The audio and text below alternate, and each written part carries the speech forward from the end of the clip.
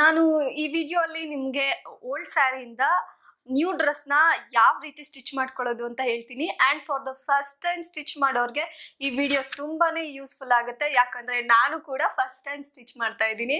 ನನಗೆ, ನಾನು ಇದುವರೆಗೂ ಯಾವುದು ಬ್ಲೌಸ್ ಆಗಲಿ ಅಥವಾ ಯಾವುದೇ ರೀತಿ dress ಹೊಲ್ದಿಲ್ಲ so for the first time stitch ಮಾಡ್ತಾ ಇದ್ದೀನಿ. ತುಂಬ ಚೆನ್ನಾಗಿ ಬಂದಿದೆ. ನನ್ನ ಎಕ್ಸ್ಪೆಕ್ಟೇಷನ್ಗಿಂತ ನಾನು ಒಂದು ಡ್ರೆಸ್ನ ಸ್ಟಿಚ್ ಮಾಡಬೇಕು ಅಂತ ಹೊರಟಿದ್ದೆ. ಬಟ್ ಅದು ಎರಡು ರೀತಿ ಡ್ರೆಸ್ ಆಗೋಗಿದೆ ಆ್ಯಂಡ್ ತುಂಬಾನೇ ಚೆನ್ನಾಗಿ ಬಂದಿದೆ. ನನಗಂತೂ ತುಂಬ ಇಷ್ಟ ಆಯಿತು. ನಿಮಗೂ ಕೂಡ ಇಷ್ಟ ಆಗುತ್ತೆ ಅಂತ ತಿಳ್ಕೊತೀನಿ. ಸೊ ಇಷ್ಟ ಆದರೆ ಲೈಕ್ ಮಾಡಿ ಆ್ಯಂಡ್ ನಿಮ್ದು ಯಾವುದೇ ರೀತಿ ಸಜೆಷನ್ಸ್ ಇದ್ರು ಕಮೆಂಟ್ ಬಾಕ್ಸಲ್ಲಿ ತಿಳಿಸಿ ಅಂತ ಹೇಳ್ತಾ. So let's get into the video ಇದು ಬಂದು ಓಲ್ಡ್ ಸ್ಯಾರಿ ಇದು ಲೆಂತ್ ಬಂದು ಮೀಡಿಯಮ್ ಇದೆ. ತುಂಬ ಲೆಂತಿಯಾಗೂ ಇಲ್ಲ, ಮತ್ತು ತುಂಬ ಶಾರ್ಟಾಗೂ ಇಲ್ಲ. ಮೀಡಿಯಮ್ ಇದೆ. ಹಂಗಾಗಿ ಒಂದು ಸೆಮಿ ಸರ್ಕ್ಯುಲರ್ ಲಂಗ ಬರುತ್ತೆ. ಫುಲ್ ಸರ್ಕ್ಯುಲರ್ ಲಂಗ ಬರೋಲ್ಲ. ನೀವು ಲಾಂಗ್ ಸ್ಯಾರಿ ತೊಗೊಂಡ್ರೆ ಸೆಮಿ ಸರ್ಕ್ ಫುಲ್ ಸರ್ಕ್ಯುಲರ್ ಲಂಗ ಮಾಡ್ಕೋಬೋದು. ನನಗೆ ಈ ಪಾರ್ಟ್ ಇಷ್ಟ ಆಗಲಿಲ್ಲ. ಸೊ ಇದನ್ನು ನಾನು ವೇಲ್ಗೆ ಯೂಸ್ ಮಾಡ್ಕೊತೀನಿ. ಬ್ಲೌಸ್ಗೆ ಯಾಕೋ ನನಗೆ ಇಷ್ಟ ಆಗಲಿಲ್ಲ. ಅಂಡ್ ಇದು ಮುಂದೆ ಇರೋದನ್ನು ನಾನು ಈ ಡಿಸೈನ್ನ ಬ್ಲೌಸಿಗೆ ಯೂಸ್ ಮಾಡ್ಕೊತೀನಿ. ಇನ್ನು ಮಿಕ್ಕಿದ್ದೆಲ್ಲ ನಾನು ಲಂಗಕ್ಕೆ ಯೂಸ್ ಮಾಡ್ಕೊತೀನಿ. ಇಷ್ಟು ಫುಲ್ನು ಫೋರ್ ಫೋಲ್ಡ್ಸ್ ಮಾಡಿಕೊಂಡು ನೀವು ಕಟ್ ಮಾಡ್ಕೋಬೇಕಾಗತ್ತೆ. ಈಗ ಹೇಗೆ ಕಟ್ ಮಾಡ್ಕೊಳ್ಳೋದು ಮೆಷರ್ಮೆಂಟ್ ತೋರಿಸ್ತೀನಿ. ಫಸ್ಟು ನೋಡಿ ಈ ರೀತಿ ಕಾರ್ನರ್ಸ್, ಕಾರ್ನರ್ ಸೈಡ್ಗಳನ್ನ ನಿಮ್ಮ ಕಡೆ ಬರೋ ಥರ ಇಟ್ಕೋಬೇಕು. ಈ ರೀತಿ ನೀಟಾಗಿ ಜೋಡಿಸ್ಕೊಳ್ಳಿ. ಬಾರ್ಡರ್ಸ್ ಇದ್ದರೆ ಬಾರ್ಡರ್ನ ಮೊದಲೇ ಕಟ್ ಮಾಡ್ಕೋಬೇಕು. ಕಟ್ ಮಾಡಿಕೊಂಡು ಆಮೇಲೆ ಜಾಯಿನ್ ಮಾಡ್ಕೊಳ್ಳಿ. ಈಗ ನಾನು ಬಾರ್ಡರ್ಸ್ನ ಕಟ್ ಮಾಡ್ಕೊಂಡಿದ್ದೀನಿ. ಫಸ್ಟು ಟೂ ಇಂಚು ಇಲ್ಲಿಂದ ಇಲ್ಲಿಗೆ ಮಾರ್ಕ್ ಮಾಡ್ಕೊಳ್ಳಿ. ಮತ್ತು ನಿಮ್ಮದು ಸೊಂಟ ಟೋಟಲ್ ಎಷ್ಟಿದೆ? ಅದು ಡಿವೈಡೆಡ್ ಬೈ ಫೋರ್ ಮಾಡ್ಕೊಳ್ಳಿ. ಯಾಕಂದರೆ ನಾವು ಫೋರ್ ಲೇಯರ್ಸ್ ಹಾಕ್ಕೊಂಡಿರ್ತೀವಲ್ವ ಸ್ಯಾರಿ ಫೋಲ್ಡಿಂಗು ಹಾಗಾಗಿ ಡಿವೈಡೆಡ್ ಬೈ ಫೋರ್ ಮಾಡಿಕೊಂಡು ಅದಕ್ಕಿಂತ ಟೂ ಇಂಚಸ್ಸು ಎಕ್ಸ್ಟ್ರಾ ತಗೋತಾ ಇದ್ದೀನಿ ನಾನು ಮಾರ್ಜಿನ್ಗೆ ಟೂ ಇಂಚ್ ಎಕ್ಸ್ಟ್ರಾ ಮಾರ್ಕ್ ಮಾಡಿಕೊಂಡು ಈಗ ಎರಡೂ ಲೈನು ಜಾಯಿನ್ ಮಾಡ್ಕೊಳ್ಳೋಣ. ಈ ರೀತಿ ಜಾಯಿನ್ ಮಾಡ್ಕೊಳ್ಳೋಣ.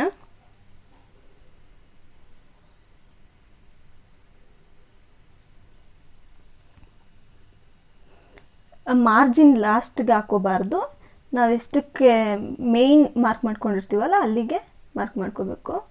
ಮತ್ತು ಹೈಟ್ ಬಂದು ನಿಮ್ಮದು ಮೇಲ್ಗಡೆ ಸೊಂಟ ಮತ್ತು ಪಟ್ಟಿ ಎಷ್ಟು ತೊಗೊತೀರಾ ಅದನ್ನು ಬಿಟ್ಟು ಇನ್ನು ಮಿಕ್ಕಿದ ಮಾರ್ಕ್ ಮಾಡ್ಕೋಬೇಕು. ಈ ರೀತಿ ಫುಲ್ಲು ಚೂರು ಚೂರೆ ಚೂರು ಚೂರೆ ಹಿಂಗೆ ಮೂವ್ ಮಾಡ್ಕೊಂಡು, ಮೂವ್ ಮಾಡಿಕೊಂಡು ಮಾರ್ಕ್ ಮಾಡ್ಕೋತಾ ಬರಬೇಕು. ನಿಮಗೆ ಎಡ್ಜ್ ಎಲ್ಲಿ ತನಕ ತರ್ಟಿ ಟು ನಿಮ್ಮ ಲೆಂತ್ ಬರುತ್ತೋ ಅಲ್ಲಿ ತನಕ ಮಾರ್ಕ್ ಮಾಡ್ಕೊಳ್ಳಿ. ನೋಡಿ, ಈ ಥರ ಮಾರ್ಕಿಂಗ್ ಬರುತ್ತೆ. ಸ್ಯಾರಿ ಲೆಂತ್ ಇತ್ತು ಅಂತಂದರೆ ಫುಲ್ ಸರ್ಕ್ಯುಲರ್ ಬರುತ್ತೆ. ಈಗ ನಾನು ಕಟ್ ಮಾಡ್ಕೊಂಡಿದ್ದೀನಿ.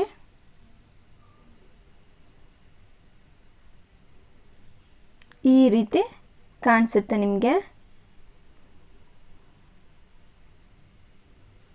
ಈಗ ಇದಕ್ಕೆ ಲೈನಿಂಗ್ ಕಟ್ ಮಾಡ್ಕೊಳ್ಳೋಣ ನಾವು. ಲೈನಿಂಗು ಟೂ ಲೇಯರ್ ತೊಗೊತೀವಿ, ತೊಗೊಂಡಿದ್ದೀನಿ ನಾನು. ಈ ಎರಡು ಮೀಟ್ರಷ್ಟು. ಲೈನಿಂಗು ಅಷ್ಟೇ ಸ್ಯಾರಿ ಮೇಯ್ನ್ ಫ್ಯಾಬ್ರಿಕ್ ಅಷ್ಟೇ ಇರಬೇಕು ಅಂತೇನಿಲ್ಲ. ಟೂ ಮೀಟರ್ ಆದರೆ ಸಾಕಾಗುತ್ತೆ. ಇದನ್ನು ಈ ರೀತಿ ಫೋಲ್ಡ್ ಮಾಡ್ಕೋಬೇಕು. ಈ ರೀತಿ ಫೋಲ್ಡ್ ಮಾಡಿಕೊಂಡು ಇದ್ರ ಮೇಲೆ ನಾವು ಮೇನ್ ಫ್ಯಾಬ್ರಿಕ್ನ ಇಟ್ಕೊಂಡು ಮೆಷರ್ಮೆಂಟ್ ತೊಗೋಬೇಕಾಗತ್ತೆ. ಯಾವ ರೀತಿ ಅಂದರೆ ಈ ರೀತಿ ಇಟ್ಕೊಂಡು ಹಿಂಗೆ ಫೋಲ್ಡ್ ಮಾಡಿಕೊಂಡು ಇದರ ಸೊಂಟದ ಅಳತೆ ಎಷ್ಟು ಬರುತ್ತೆ ನೋಡಿಕೊಂಡು ಅಲ್ಲಿ ಕರೆಕ್ಟಾಗಿ ಮಾರ್ಕ್ ಮಾಡ್ಕೋಬೇಕು ನಾವು. ಸೊಂಟದ್ದು.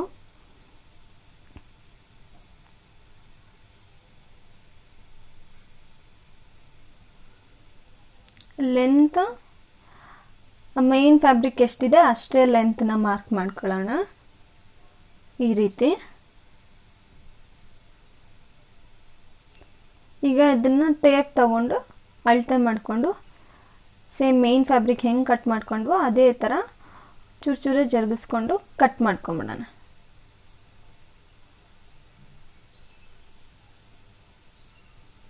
ಈಗ ಇದನ್ನು ಈ ರೀತಿ ಫೋಲ್ಡ್ ಮಾಡಿಕೊಂಡು ಎಕ್ಸ್ಟ್ರಾ ಬಂದಿದೆ ನೋಡಿ. ಅದನ್ನು ಕಟ್ ಮಾಡ್ಕೊಳ್ಳೋಣ. ನೀವು ಕರೆಕ್ಟಾಗಿ ಇಟ್ಕೊಂಡ್ರೆ ಏನೂ ತೊಂದರೆ ಆಗಲ್ಲ.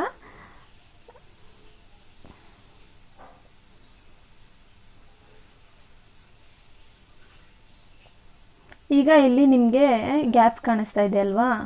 ಈ ಗ್ಯಾಪ್ನ ಕವರ್ ಮಾಡೋದಕ್ಕೆ ನೀವು ಎಕ್ಸ್ಟ್ರಾ ಬಟ್ಟೆ ಮಿಕ್ಕಿರುತ್ತಲ್ವ ಅದನ್ನು ಹಾಕ್ಕೊಂಡು ಕಟ್ ಮಾಡ್ಕೋಬೋದು. ಅಲ್ಲಿ ಕೆಳ ಇಲ್ಲಿ ಕೆಳಗಡೆ ಹೆಂಗೆ ಕಾಣಿಸ್ತಾ ಇದೆಯೋ ಅದರ ಅಳತೆಯಲ್ಲಿ ನಾವು ಕಟ್ ಮಾಡ್ಕೊಳ್ಳೋಣ. ಹಾಕೊಂಡ್ರೂ ನಡೆಯುತ್ತೆ, ನಾವು ಅದು ಎಕ್ಸ್ಟ್ರಾ ಸ್ಟಿಚ್ ಮಾಡಿಕೊಂಡ್ರೂ ನಡೆಯುತ್ತೆ ಮಾಡ್ಕೊಂಡಿದ್ರೂ ನಡೆಯುತ್ತೆ, ಯಾಕಂದರೆ ಒಳಗಡೆ ಲೈನಿಂಗ್ ಅಲ್ವಾ ಅಷ್ಟೇನು ಕಾಣಿಸಲ್ಲ.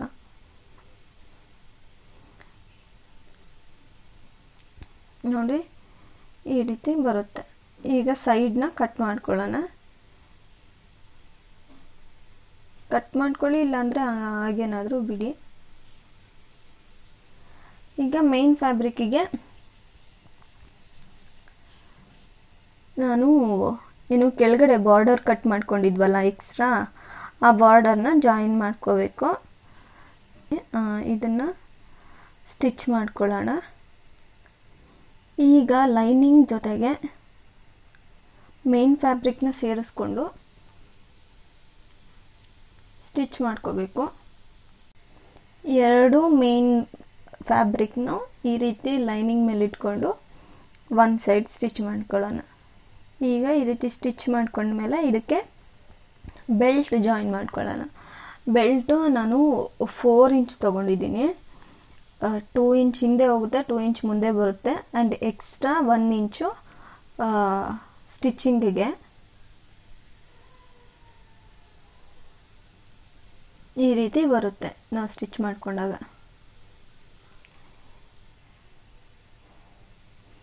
ಈಗ ನೋಡಿ ಎರಡು ಸೈಡ್ದು ಲಂಗ ಸ್ಟಿಚ್ ಆಗಿದೆ ವಿತ್ ಬೆಲ್ಟ್ ಮತ್ತು ಬಾರ್ಡರು.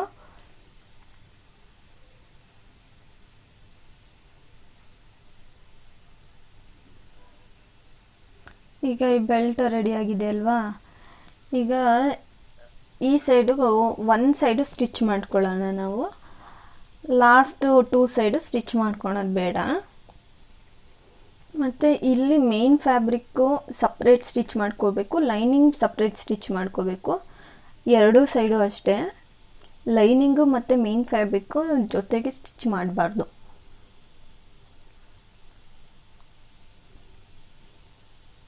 ಈಗ ಲಂಗ ರೆಡಿ ಆಯಿತು. ಈಗ ಬ್ಲೌಸ್ ಹೇಗೆ ಕಟ್ ಮಾಡ್ಕೊಳ್ಳೋದು, ಬ್ಲೌಸ್ ಹೇಗೆ ಸ್ಟಿಚ್ ಮಾಡೋದು ಇದಕ್ಕೆ ಅಂತ ನೋಡೋಣ.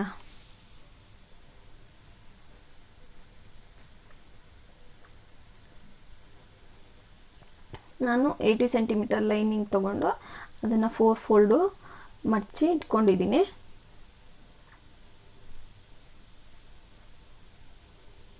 ನಂದು ಟೋಟಲ್ ಹೈಟ್ ಬಂದು ಫೋರ್ಟೀನ್ ಇಂಚು. ನಾನು ನನ್ನ ಅಳತೆಗೆ ಬ್ಲೌಸ್ ಹೊಲ್ಕೊತಾ ಇದ್ದೀನಿ ಎಕ್ಸ್ಟ್ರಾ ಒನ್ ಇಂಚು ಮಾರ್ಜಿನ್ ಇಟ್ಕೊತಿದ್ದೀನಿ. ಈಗ ಇಲ್ಲಿಂದ ನೋಡಿ ಯಾವ ಥರ ಫೋಲ್ಡ್ ಮಾಡ್ಕೋಬೇಕು ಅಂದರೆ ಈ ಥರ ಫೋಲ್ಡ್ ಮಾಡಿಕೊಂಡು ಕಾರ್ನರ್ಸ್ ಈ ಸೈಡ್ ಬರಬೇಕು. ಈ ಫೋರ್ ಲೇಯರ್ಸ್ ಆ ಸೈಡ್ ಇರಬೇಕು.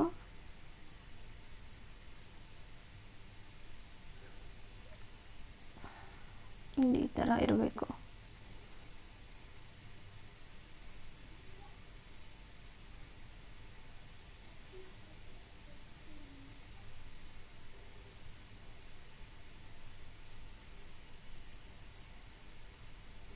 ಇಲ್ಲಿಂದ ಇಲ್ಲಿಗೆ ಮಾರ್ಕ್ ಮಾಡ್ಕೊತೀನಿ ನಾನು. ಫಿಫ್ಟೀನ್ ಇಂಚಸ್ಗೆ ಫಿಫ್ಟೀನ್ ಸೆಂಟಿಮೀಟರ್ಗೆ ಆ್ಯಂಡ್ ನೆಕ್ ಬಂದು ಟೂ ಸೆಂಟಿಮೀಟರ್ ಮಾರ್ಕ್ ಮಾಡ್ಕೊತಾ ಇದ್ದೀನಿ.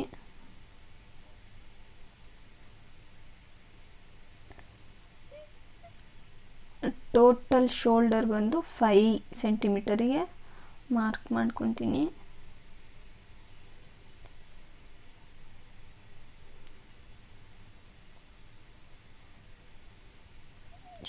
ಶೋಲ್ಡರ್ ಲೆಂತು ಕೆಳಗಡೆ ಸಿಕ್ಸ್ ಸೆಂಟಿಮೀಟರ್ ಮಾರ್ಕ್ ಮಾಡ್ಕೊತೀನಿ. ಇದು ಚೆಸ್ಟ್ ಬಂದು ನಿಮ್ಮದು total chest divided by four ಮಾಡಿಕೊಂಡು ಮಾರ್ಕ್ ಮಾಡ್ಕೊಳ್ಳಿ. ನಂದು ತರ್ಟಿ ಟು ನಾನು ಬಂದು thirty two divided by four ಮಾಡ್ಕೊಂಡಿದ್ದೀನಿ ಸೊ ಏಯ್ಟ್ ಪಾಯಿಂಟ್ ಫೈ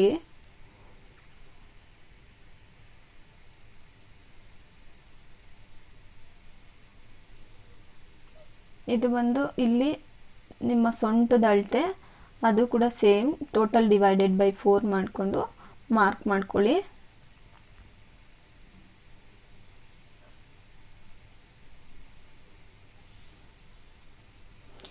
ಈಗ ನಿಮ್ಮದು ಶೋಲ್ಡರ್ ಇರುತ್ತಲ್ವಾ? ಅದನ್ನು ಫ್ರಂಟ್ ನಿಮ್ಮ ಶೋಲ್ಡರ್ ಲೆಂತ್ಗಿಂತ ಸ್ವಲ್ಪ ಮೇಲೆ ಮಾರ್ಕ್ ಮಾಡ್ಕೊಳ್ಳಿ.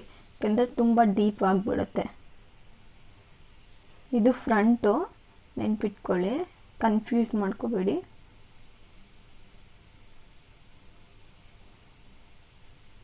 ಮತ್ತು ಇಲ್ಲಿಂದ ಟೂ ಇಂಚಸ್ ಮಾರ್ಕ್ ಮಾಡಿಕೊಂಡು ಲೈನ್ ಹಾಕ್ಕೊಳ್ಳೋಣ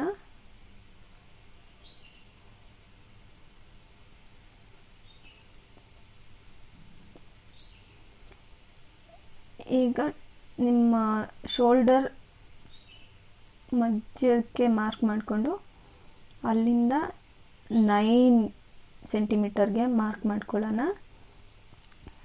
ಅಲ್ಲಿಂದ ಮತ್ತೆ ಜಾಯಿನ್ ಮಾಡ್ಕೋಬೋದು. ಈ ರೀತಿನಾದರೂ ನೀವು ಜಾಯಿನ್ ಮಾಡ್ಕೋಬೋದು. ಇಲ್ಲ ಅಂತಂದರೆ ಇಲ್ಲಿಂದ ಇಲ್ಲಿಗೆ ಎಷ್ಟು ಸೆಂಟಿಮೀಟರ್ ಇದೆ ನೋಡ್ಕೊಳ್ಳಿ.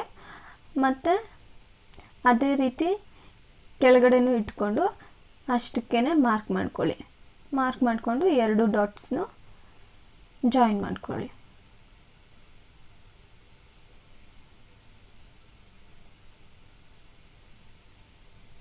ಈಗ ಹಾಮ್ ವೂಲಿಂದ ನಾವು ಮಾರ್ಕ್ ಮಾಡ್ಕೊಂಡಿದ್ದೀನಲ್ವ? ಅಲ್ಲಿಗೆ ಜಾಯಿನ್ ಮಾಡ್ತೀನಿ. ಸ್ವಲ್ಪ ಕ್ರಾಸಾಗಿ ಜಾಯಿನ್ ಮಾಡ್ಕೊಂಡಿದ್ದೀನಿ. ಇಲ್ಲಿಗ ಇಲ್ಲಿ ಕೆಳಗಡೆ ಒನ್ ಇಂಚ್ ಈ ಸೈಡು, ಒನ್ ಇಂಚ್ ಆ ಸೈಡು ಮಾರ್ಕ್ ಮಾಡ್ಕೊತೀನಿ. ಮತ್ತು ಇದನ್ನು ಜಾಯಿನ್ ಮಾಡ್ತೀನಿ ನಾನು. ಒಂದು ರಫಾಗಿ ಜಾಯಿನ್ ಮಾಡ್ಕೋಬೋದು. ಎಕ್ಸಾಕ್ಟಾಗಿ ಇರಬೇಕಂತೇನಿಲ್ಲ. ಚೂರು ಈ ರೀತಿ ಜಾಯಿನ್ ಮಾಡ್ಕೊಳ್ಳಿ.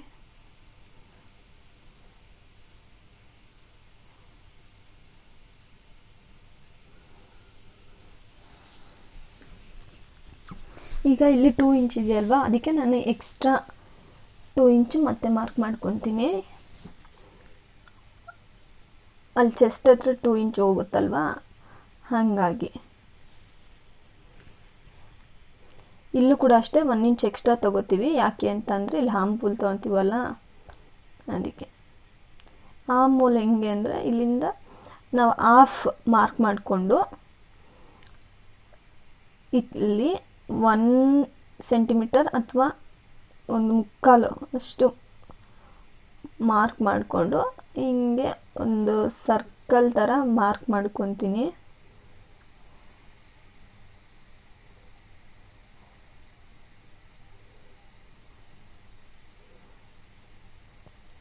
ಈಗ ಅಲ್ಲಿ ಆಮ್ ಹೋಲ್ ಬರುತ್ತಲ್ವ? ಹಂಗಾಗಿ ಒನ್ ಸೆಂಟಿಮೀಟರ್ ಎಕ್ಸ್ಟ್ರಾ ತಗೋತೀನಿ. ಸ್ವಲ್ಪ ಒಂಥರ ಇಟ್ಕೊಂಡ, ಹಿಡ್ಕೊಂಡಂಗೆ ಆಗುತ್ತೆ. ಈಗ ಇದೆಲ್ಲ ಮೇಯ್ನ್ ಆಯಿತು. ಇವಾಗ ಎಕ್ಸ್ಟ್ರಾ ಈಗ ಇಲ್ಲಿ ತನಕ ಏನು ಮಾರ್ಕ್ ಮಾಡಿದ್ವಿ? ಇದೆಲ್ಲ full main extra two inch margin mark ಮಾಡ್ಕೋಬೇಕು.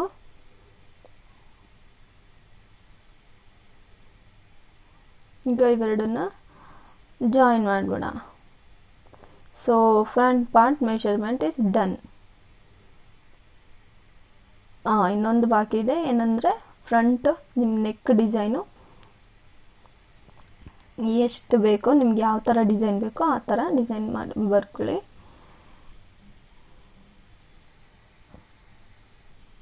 ಈಗ ಇದೇ ಥರನೇ ನಾವು ಬ್ಯಾಕ್ ಕೂಡ ಮಾರ್ಕ್ ಮಾಡ್ಕೊತೀವಿ. ಸೇಮ್ ಮಾರ್ಕಿಂಗ್ ಬರುತ್ತೆ, ಒಂಚೂರು ಚೇಂಜಸ್ ಇರುತ್ತೆ. ಹೇಳ್ತೀನಿ ಯಾವ ಥರ ಚೇಂಜಸ್ ಅಂತ ತೋರಿಸ್ತೀನಿ ನಿಮಗೆ. ಇದು ನೋಡಿ ಫ್ರಂಟು ಈ ರೀತಿ ಕಟ್ ಮಾಡ್ಕೊಂಡಿದ್ದೀನಿ ನಾನು.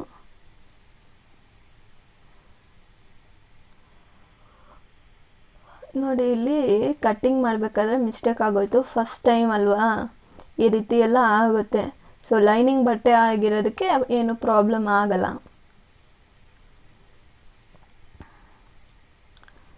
ಈ ರೀತಿ ಕಟ್ ಮಾಡ್ಕೊಂಡಿದ್ದೀನಿ. ಸೇಮ್ ಬ್ಯಾಗ್ ಕೂಡ ಇದೇ ಥರ ಬರುತ್ತೆ. ಇದೇ ರೀತಿ ಮಾರ್ಕ್ ಮಾಡ್ಕೊಳ್ಬೇಕು. ತೋರಿಸ್ತೀನಿ ನಿಮಗೆ. ನೋಡಿ ನಾನು ಬ್ಯಾಗ್ ಕಟ್ ಮಾಡ್ಕೊಂಡಿದ್ದೀನಿ. ಸೇಮ್ ಫ್ರಂಟ್ ಪಾರ್ಟ್ ಥರನೇ ಬಟ್ ಒಂದೆರಡು ಪಾಯಿಂಟ್ಸು ಡಿಫ್ರೆನ್ಸ್ ಇರುತ್ತೆ. ಇದು ಬ್ಯಾಕು ಈಗ ನೀವು ಬರ್ಕೊಂಬಿಟ್ರೆ ಕನ್ ಬೆಟರು ಇಲ್ಲಿ ಬ್ಯಾಕ್ ಡಿಸೈನ್ ಸ್ವಲ್ಪ ಡೀಪ್ ಬರುತ್ತೆ. ಆ್ಯಂಡ್ ಶೇಪ್ ನಿಮಗೆ ಚೇಂಜ್ ಮಾಡ್ಕೋಬೋದು. ಆ್ಯಂಡ್ ಇನ್ನು ಮಿಕ್ಕಿದ ಪಾರ್ಟ್ ಎಲ್ಲ ಸೇಮ್ ಬಟ್ ಇಲ್ಲಿ ಚೆಸ್ಟ್ ಪಾರ್ಟ್ ಹತ್ರ ನಾವು ತ್ರೀ ಸೆಂಟಿಮೀಟರ್ ತೊಗೊಂಡು ತ್ರೀ ಸೆಂಟಿಮೀಟರ್ ಹೆಂಗೆ ತೊಗೋತೀವಿ ಅಂತಂದರೆ ಸೇಮ್ ಅಲ್ಲಿ ನೈನ್ ಸೆಂಟಿಮೀಟರ್ ಮಿಡಲಿಂದ ಮಾರ್ಕ್ ಮಾಡ್ಕೊಂಡಿರ್ತೀವಲ್ಲ, ಅದೇ ಥರ ತ್ರೀ ಸೆಂಟಿಮೀಟರ್ ಮಾರ್ಕ್ ಮಾಡಿಕೊಂಡು ಹಾಫ್ ಇಂಚ್ ಹತ್ತು ಕಡೆ ಹಾಫ್ ಇಂಚ್ ಇದು ಕಡೆ ಮಾರ್ಕ್ ಮಾಡ್ಕೊಂಡು ಈಗ ಮಿಕ್ಕಿರೋ ಬಟ್ಟೆ ಇದೆ ಅಲ್ವಾ? ಇದರಲ್ಲಿ ನಾವು ಸ್ಲೀವ್ಸ್ನ ಕಟ್ ಮಾಡ್ಕೊಳ್ಳೋಣ. ನಿಮ್ಗೆ ಹೈಟ್ ಎಷ್ಟು ಬೇಕು ನೋಡಿಕೊಂಡು ಲೆಂತ್ ಎಷ್ಟು ಬೇಕು ನೋಡಿಕೊಂಡು ಮಾರ್ಕ್ ಮಾಡ್ಕೊಳ್ಳಿ. ನಾನು ಸಿಕ್ಸ್ ಇಟ್ಕೊತಾ ಇದ್ದೀನಿ ಎಕ್ಸ್ಟ್ರಾ ಒಂದು ಮಾರ್ಜಿನ್ ಒನ್ ಇಂಚ್ ಮಾರ್ಜಿನಿಗೆ ಬಿಟ್ಕೊಂಡು. ಇದು ನಿಮ್ಮ ಅಳತೆ ಎಷ್ಟಿದೆ ನೋಡ್ಕೊಳ್ಳಿ.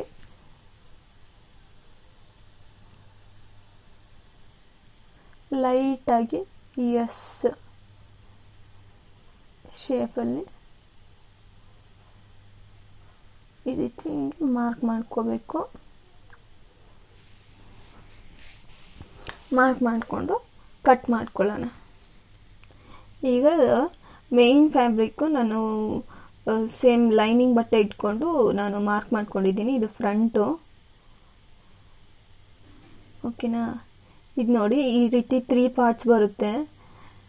ಸೊ ತ್ರೀ ಪಾರ್ಟ್ಸ್ನು ನಾವು ಜಾಯಿನ್ ಮಾಡ್ಕೋಬೇಕು. ಯಾವ ಥರ ಅಂದರೆ ನೋಡಿ, ಈ ಥರ ಹಿಂಗೆ ಇಟ್ಕೊಂಡು.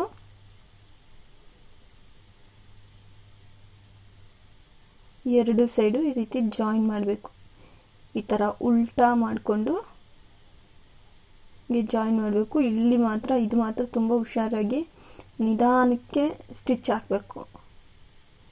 ಇದೇ ರೀತಿ ಇನ್ನೊಂದು ಪೀಸ್ ಇದೆ ಅಲ್ವಾ? ಈ ರೀತಿ ಮೂರು ಪೀಸ್ನು ಜಾಯಿನ್ ಮಾಡ್ಕೋಬೇಕು ನಾವು. ನೋಡಿ, ಈ ರೀತಿ ಬರುತ್ತೆ. ನನ್ನ ಸ್ಲೀವ್ಸ್ನ ಮೇಲ್ಗಡೆ ಶೋಲ್ಡರು ಜಾಯಿನ್ ಮಾಡ್ಕೊಂಡಿದ್ದೀನಿ. ಇದು ಫ್ರಂಟ್ ಪಾರ್ಟು ಓಕೆನಾ? ಇದು ಬ್ಯಾಕ್ ಪಾರ್ಟ್ ಡಿಸೈನ್ಗೆ ನೀವು ಫ್ರಂಟ್ ಬ್ಯಾಕು ಕ್ಯಾನ್ವಾಸ್ ಹಾಕಿದ್ರೆ ಕರೆಕ್ಟಾಗಿ ಬರುತ್ತೆ. ಇದು ಸ್ಲೀವ್ಸು, ಎರಡೂ ಸೈಡು ಸ್ಲೀವ್ಸ್ ಹಾಕ್ಕೊಂಡು ಸ್ಟಿಚ್ ಮಾಡಿಕೊಂಡು ಹಂಗೆ ಸೈಡನ್ನು ನಾವು ಇಟ್ಕೊಂಬಿಡೋಣ. ಆಲ್ಮೋಸ್ಟ್ ಬ್ಲೌಸ್ ಮುಗೀತು. ನೋಡಿ, ಬ್ಲೌಸ್ ರೆಡಿ ಆಯಿತು. ಕರೆಕ್ಟಾಗಿ ಬಂದಿದೆ, ಆಲ್ಮೋಸ್ಟ್ ನೈಂಟಿ ಪರ್ಸೆಂಟ್. ಒಂಚೂರು ಬರಬೇಕಾಗಿತ್ತು ಬಟ್ ಚೆನ್ನಾಗಿ ಬಂದಿದೆ. ಸ್ಲೀವ್ಸ್ ಬಂದು ಎಕ್ಸ್ಟ್ರಾ ಬಾರ್ಡರ್ ಮಿಕ್ಕಿತ್ತು.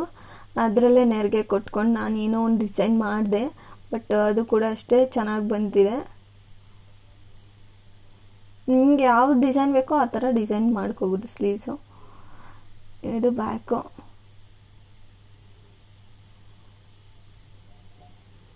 ಫೈನಲಿ ಬ್ಲೌಸ್ ಕೂಡ ಡನ್ ಚೆನ್ನಾಗಿ ಬಂದಿದೆ ಅಲ್ವಾ? ಸೊ ಲಂಗ ಬ್ಲೌಸ್ ರೆಡಿ ಆಯಿತು.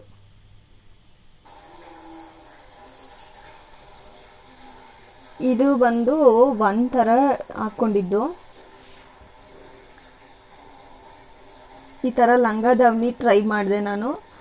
ಅದು ಚೆನ್ನಾಗಿ ಬಂತು. ಆ್ಯಂಡ್ ಈ ಡ್ರೆಸ್ ಕೂಡ ತುಂಬ ಚೆನ್ನಾಗಿ ಬಂತು. ಸೊ ನಾನು ವೇಲ್ ಕೂಡ ಸ್ಯಾರಿಲೇ ರೆಡಿ ಮಾಡ್ಕೊಂಡಿದ್ದು.